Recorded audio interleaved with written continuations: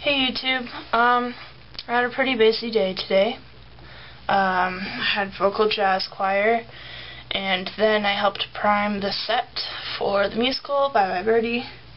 I got most of it off, but there's some there, there, and I got some on my nose, but I got that off. um, basically, today I have some stuff I want to vlog about. Hundreds of miles, yeah, you cry like a baby. You plead with me, shout, scream. Um, yeah, so, our topic for today, um, two things. Yesterday, yeah, yesterday, I went to a French conference thing, which was really cool. I met some cool people. And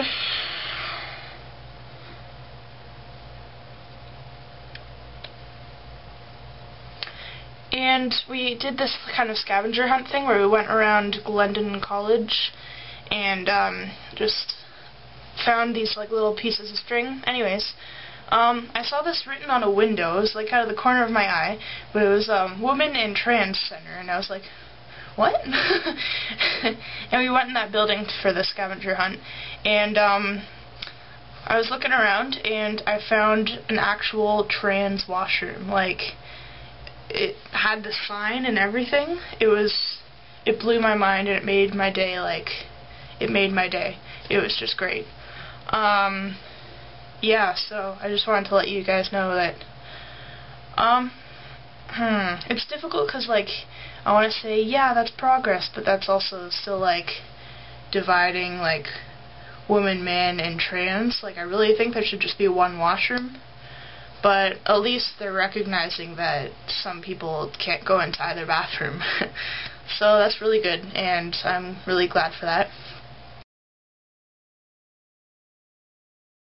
Anyways, uh, second part of my vlog. Um, I wanted to talk about just like being at stuff like um, I haven't gone yet, but stuff like Pride and stuff like um, GSA Boardwide, which is Gay Straight Alliance, and Boardwide. I have a video on that. Um, and just stuff like that.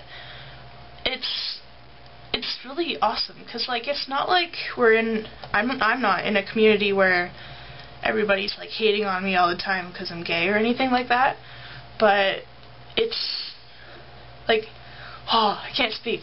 It's not like I'm not being accepted, but in those kinds of communities, in in that kind of space, you're just it's just like implied, like, and it just feels so good. Everybody can be themselves. And I think that's really important, and I hope that, like, everywhere just feels like that for, from now on.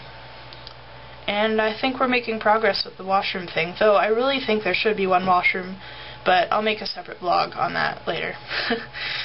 um, one other thing, I got my hair cut. I like it quite a lot.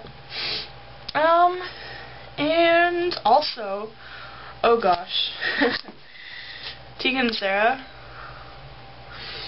and um, City and Colour, and oh, the other bands, Wintersleep, and hold up, Ra Ra Riot, yeah, they're all gonna like come together and make musical brilliance at the Molson Amphitheater August 28th in Toronto, and I'm so excited.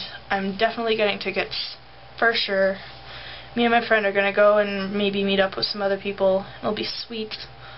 Um, uh, I think that's it for today.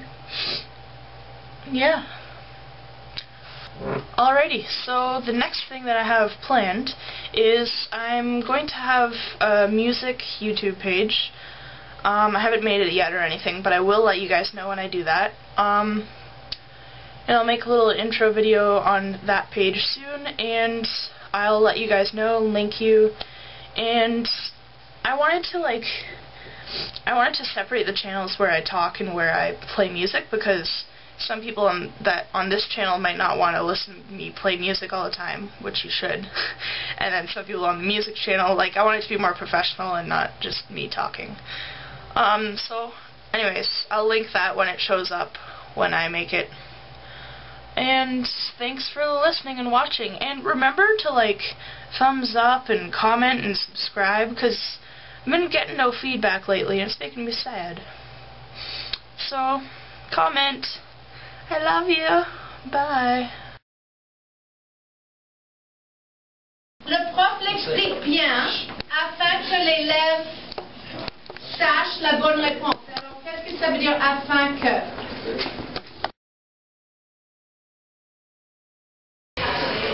Please have a seat where you can see the screen.